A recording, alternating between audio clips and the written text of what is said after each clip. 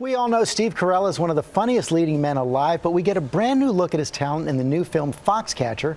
His mesmerizing take on John DuPont, an eccentric heir to an American fortune who made America's Olympic wrestlers his life mission. And we see here what DuPont's aristocratic mother thinks about all that. Mother, I am leading men. I am training them. I am teaching them. I am giving them a dream.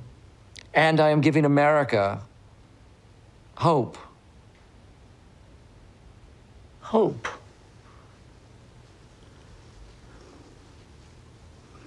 It doesn't matter.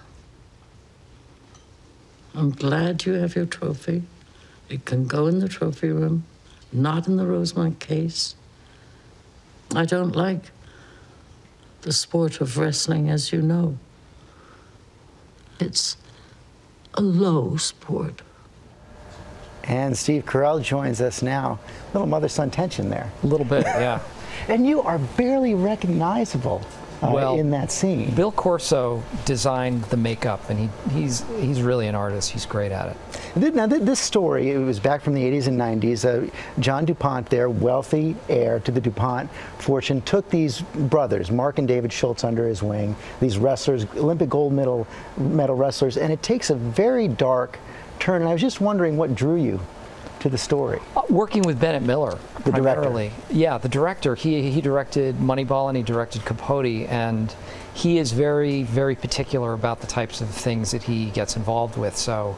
I figured if, if he's in, I am I am all in. And he actually said that this role was very far outside of your comfort zone. Yeah. Oh, for sure. I don't think I was on anybody's list for this kind of part but and I wasn't campaigning for it, and apparently my agent submitted my name, and it gave him some pause, and he thought about it, and I, he sent me the script, and we met, and he offered me the part. So. And then you and you said the chance to work with him is all I need. Huge, yeah. And the fact, and I didn't know whether I could do it, but the fact that he thought I could do it was was enough. Well, it was clear you could do it, and and and, and this story has so many different layers to it. I was struck by how much of the story is told without any dialogue at all in the looks and the glances. It's very spare, yeah.